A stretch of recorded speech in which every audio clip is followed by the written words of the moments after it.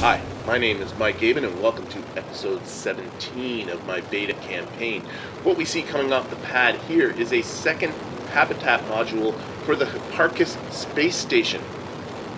And this particular craft uh, forced me to upgrade my launch pad. So my launch pad is now a tier 3 launch pad. And it wasn't the mass of the thing that actually forced it, though it is tipping the scales at almost 124 tons. It was the height of the thing. The old launch pad couldn't take the how tall this particular ship was. So yeah, so now I got a second building up to tier 3. It joins the um, what was the other building I did? Oh, it was the administrative building. Yes, that, that, that is tier 3 as well. But this isn't going to be the main event for this particular uh, episode. Main event's going to be coming up later, which is going to be a single vessel putting up three geostationary satellites, and we'll talk about what is the best way of accomplishing that particular task. So for now, let's get back to this particular mission. So as I mentioned, this is bringing up a second habitat module up to the Hipparchus station. The actual contract is one of the historical contracts that come from the Mission Controller 2 mod. The It is the Skylab contract, which forced me to make this a hitchhiker can. I would love to have actually made this a, uh, a science lab. One of those science processing labs would be an appropriate thing to attach to it. But another hitchhiker can's all right. It'll give our Kerbinauts up there a little bit more elbow room. But the thing that's making this so big, so massive, is that I've also added on some extra fuel. And the reason for that is that I have some work in mind for my Kerbinauts up there. I think they're getting a little bit too lazy just floating around with nothing to do. So I got to give them some jobs. Um, and you can see that there's actually two uh, parts to this, two modules. There's the there's the um, hitchhiker can with some fuel attached to it in the lower part, but on the upper part you'll see a second fuel can hooked on with some docking ports, and I will you'll see what that's about in just a little bit. So we do our rendezvous the way we normally would do, but uh, as we are approaching this particular station. The thing to notice here is that uh, I have no RCS on this vehicle whatsoever. So what I'm going to do is just um, bring it and kind of park it in, not quite alongside, but nearby. I don't want to, uh, it's going to be drifting there for a bit. And I don't want to end up accidentally drifting into the station. Um, and then it's going to be the job of our crew to take the Curyus out and uh, put these modules where they need to be. And you can see that we got Tom Plock and Bill in the Curyus. I thought I'd leave Rodbart in the station, sort of the mind the store. And, uh, you know, last episode we did a lot of docking. So what I thought might be kind of fun is to do this whole thing from the cockpit view. So we're looking out the window here. I also have a camera set up with uh, that's pointing out towards the front, right beside the docking port. And I'll use this opportunity as well to talk about the numbers along the, uh, the docking alignment indicator, those three numbers towards the bottom. The DST is the straight line distance between the two docking ports. Then there's the CDST, which is just the sort of perpendicular distance, how far you are forward of the docking port. So right now I'm at 11.8, 11.7. That's how far I have to come forward uh, to get the docking ports. You can see those two numbers are getting closer and closer together as the uh, docking ports become closer and closer to being aligned. And then finally, the bottom number is my just my vertical speed towards the docking ports. How far am I going vertically? And the uh, also talk about the cross, the green cross. That green cross uh, is green because I am in front of the docking port, and if you are behind the docking port and you need to go backwards, then that thing turns red. You'll see that later. But anyway, we're kind of closing in on the distance. Uh, what do we got here at five and a half meters from the docking port? Five meters, four and a half meters, and of course, um, once you get into the last couple of meters, the magnetic forces take over and just kind of suck the two things together. So it goes very quick at that part. Uh, three meters. I could probably go a little bit faster. I mean, 0.07 meters per second, really. I don't think I need to be that cautious. Thank goodness this is at two times speed. And there we are. Now, as the Cureuse is the only thing that has any reaction wheels or RCS on it at all, I'm not going to take the whole thing over in one go. I'm going to take the two modules separately. So the first part to go is this external tank. And the idea with this external tank is actually to just mount it on the Cureuse exactly the way you see it here. And this is going to extend the range of the Cureuse, give it some fuel so it can get to some places and do some work for me. And I put these uh, lights at the front of it, just, I don't know, give it give it some style. I suppose that it can, as it's approaching an object, it can it can light it up as it approaches. And as you can uh, see here, these lights, well, I don't think they're really supposed to be as powerful as this.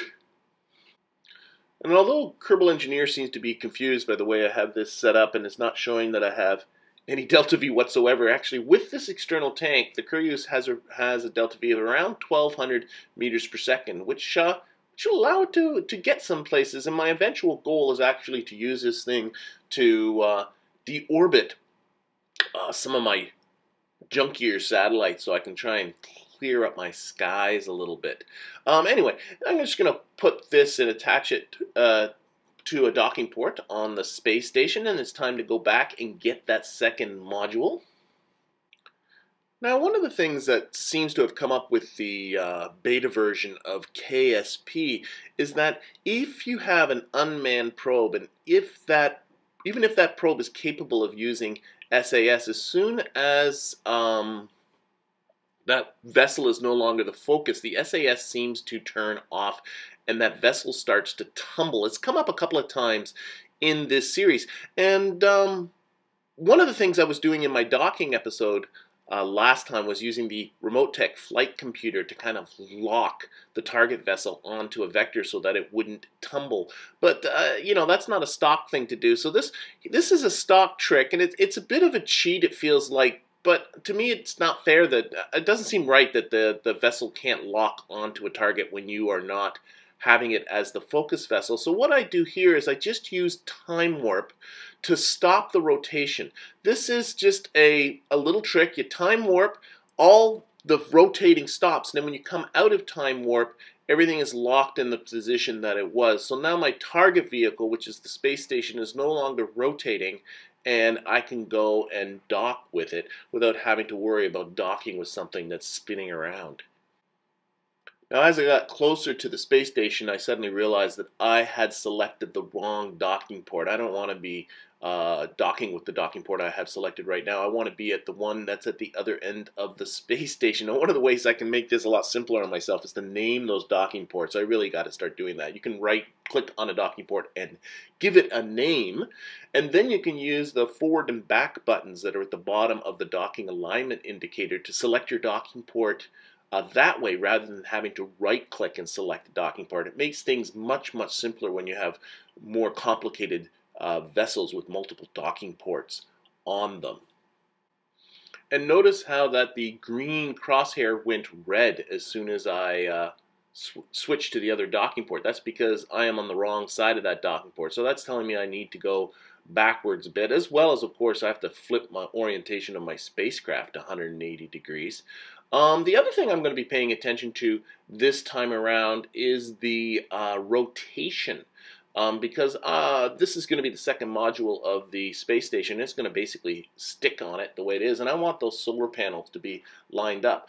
Um, and so one of the things we can use now is that rotation tool that's down there at the bottom. You can see that I have it turned to 180 degrees, uh, straight down. Uh, I also want to get the doors of the two um, hitchhiker cans to be, the hatches to be on the same side. So this allows me to do the rotating part um, a lot easier. Now, to be honest, with this one, because of the solar panels, actually, you can use the solar panels to, to get your alignment right as well. But uh, not all parts are going to have solar panels on them, so that, that rotation indicator sure is handy.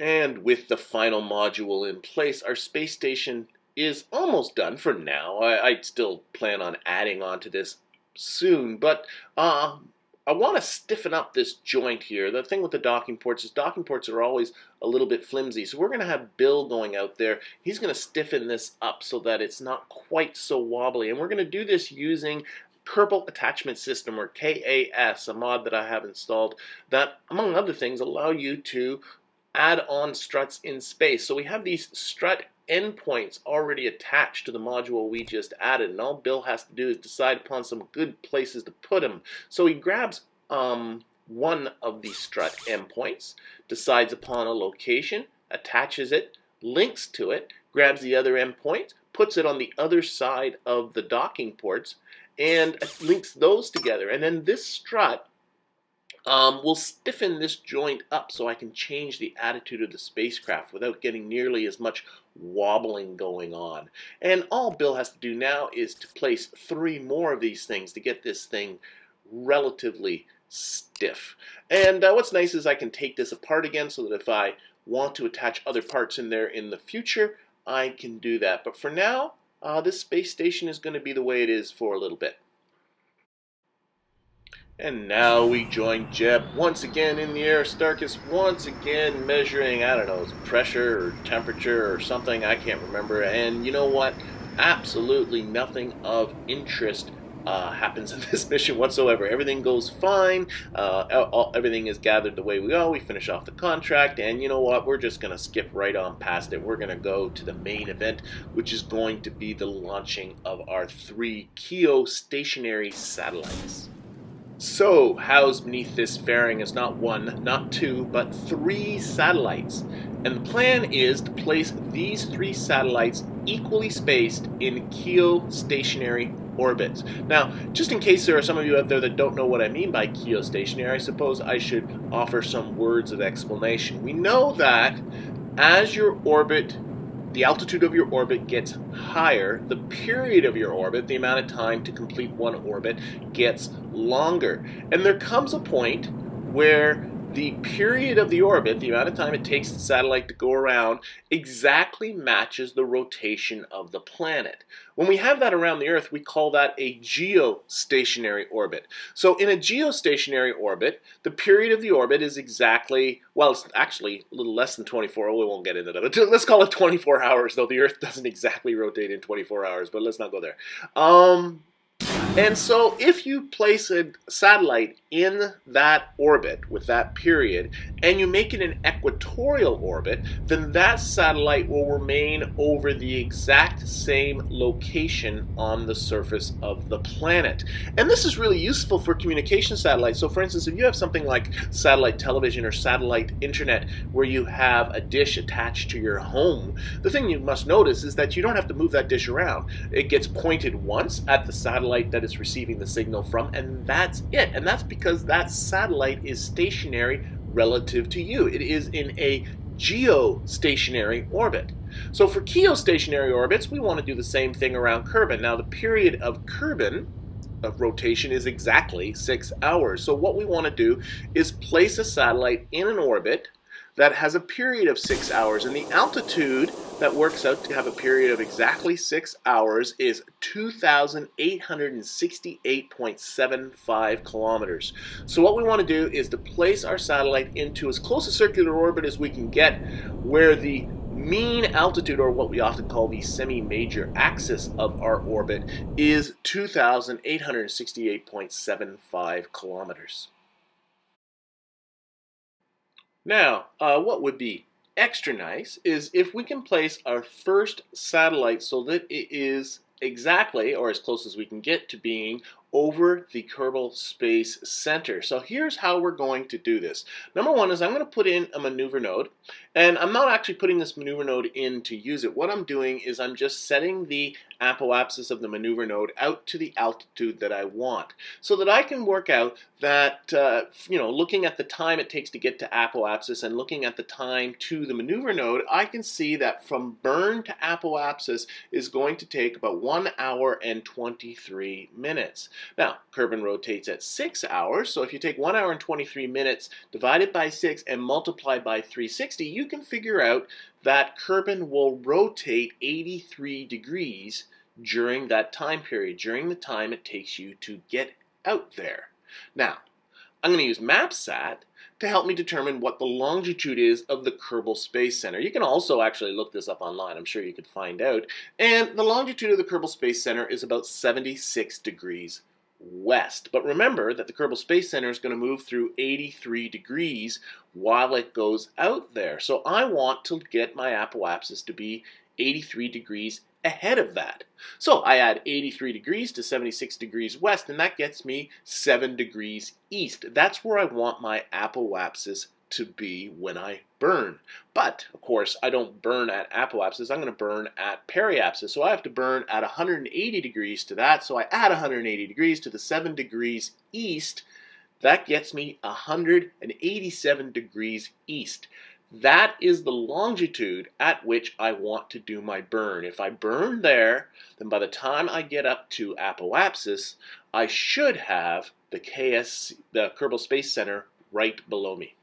And if you got lost in all of that, don't feel so bad. I always have to draw this out on a piece of paper in order to figure it out every single time that I do it. So if you need to, just draw it out, and it, hopefully should make some sense. So anyway, I can use Kerbal Engineer to give me my longitude, and then that allows me to decide when to burn. So I burn just like a degree or so ahead of uh, the longitude that I was targeting at, which is that 187 degrees east. Um, to be honest, this burn took a little longer than I thought it was going to, so I probably should have burned a few degrees ahead of that still, but uh, it, it comes out to be okay anyway.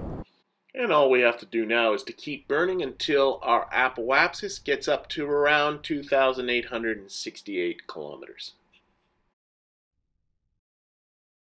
Truth be told, this is probably overkill. Um, I don't really need to put a satellite over the KSC and have it locked there, and neither do I need the whole geostationary thing for that matter. The main purpose of these satellites is actually just to provide communication links to my interplanetary probes that are on the way out to Duna and to MOHO. And all I needed for that was really just two satellites. I could have put them in any orbit that I want as long as they were on opposite sides of the planet so that if one of the satellites was uh, blocked by Kerbin in its attempt to communicate, then the um, the other one could take over. But I don't know. I always figure if you're going to do something, you might as well do it right. So the whole geostationary thing is something I kind of want to do anyway. Here we are about five minutes from apoapsis. So we're getting close to the time we can drop our first satellite, but there's something we need to accomplish first. We want these three satellites to be equally spaced in orbits that each have a period of six hours. So we have three satellites, so if you take these six hours, divided by three, that's two hours. So we want these satellites to be two hours apart. The way we're going to accomplish that is to give the transfer vehicle a period such that each time it comes up to apoapsis, um, it will be ready to drop another satellite, and that satellite will be in the correct position. Now, a period of two hours would work, but unfortunately that's not possible. You can see our period is actually already well over two hours, and a period of two hours with an apoapsis out here will put the periapsis below the Kerbin surface. So obviously that doesn't work. So what we do is we go to four hours. Four hours works just as well. And each time we come back up here four hours later, we will be two hours from the previous satellite that we dropped. We drop another satellite, and after doing that three times, the satellites will all be equally spaced. Now, I am five minutes ahead, five minutes or so ahead of apoapsis. So, and the reason for that is just to give me some time to muck about and get the, the satellite ready to drop. Um, so I'm actually, I want to burn in such a way that I don't push that apoapsis up. So that's why you can see I'm burning also a little bit below the prograde vector. So I'm not only watching my period, I'm also watching my apoapsis, keeping it around that 2,686 kilometers. And then once I get my period at four hours, well, then I am ready to start dropping satellites. Sorry, that would be an apoapsis of 2,868 kilometers or so. But anyway, now we come to my favorite part. Yeah, here it is.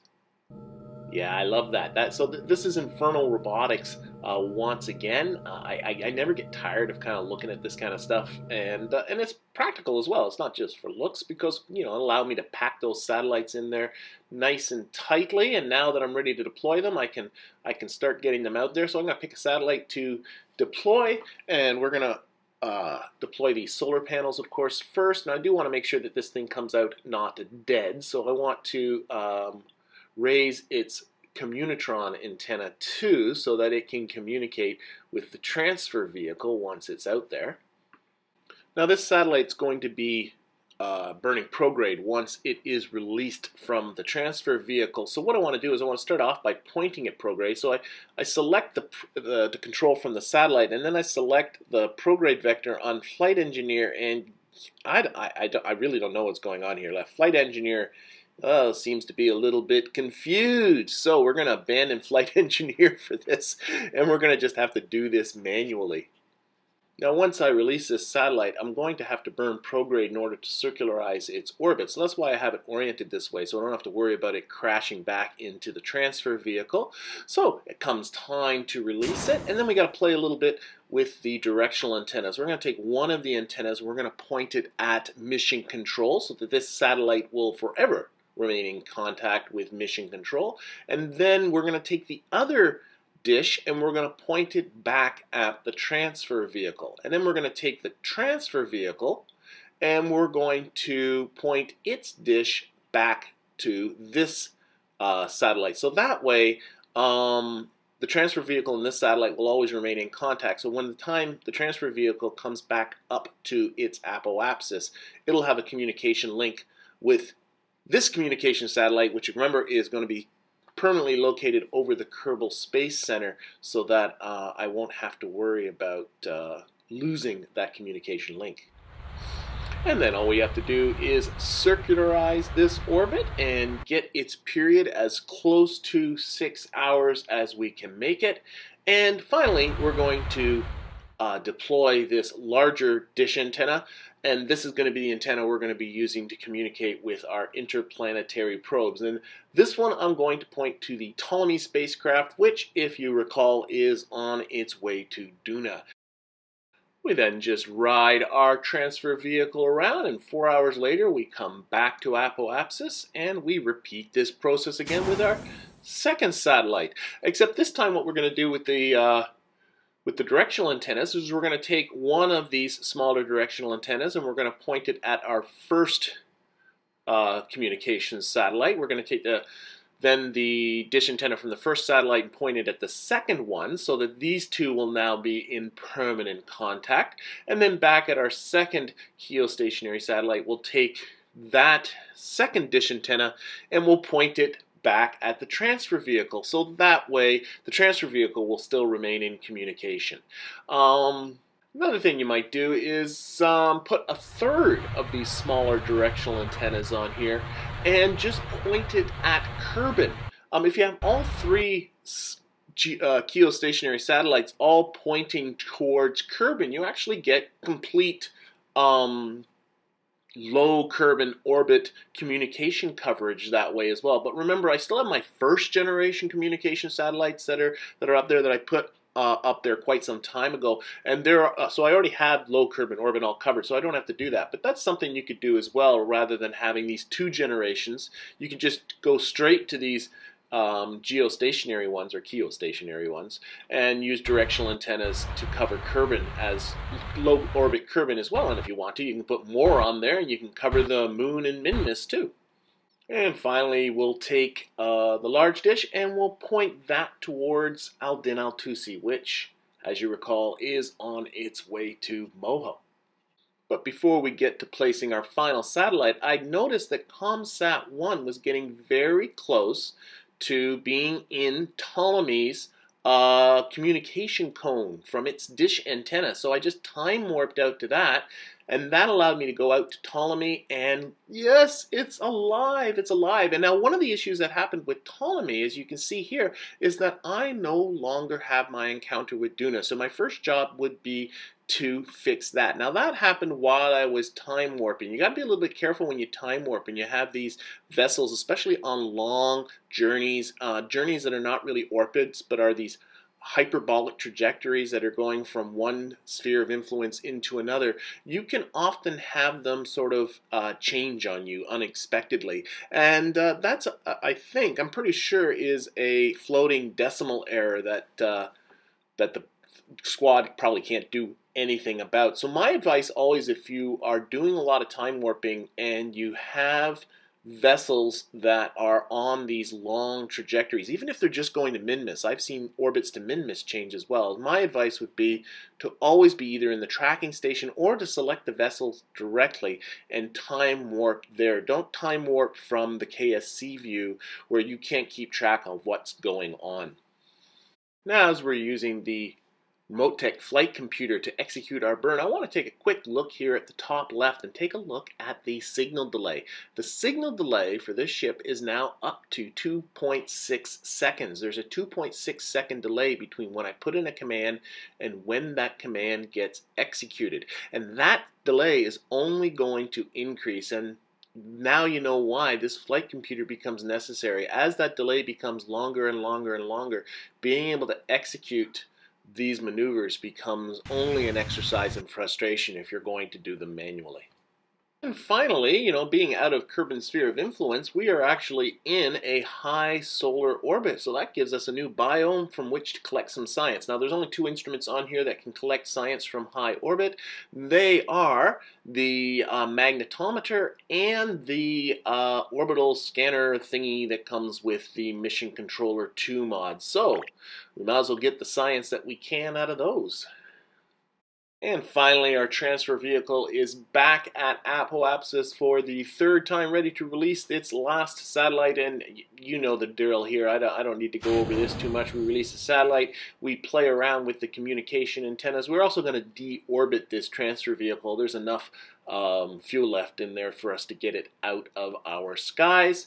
And we finally have it set up so that the first communication satellite is in communication with uh, mission control and relaying the signal to the second satellite, which relays the signal over to the third satellite so that all of these satellites are in communication with each other independently of any other satellites.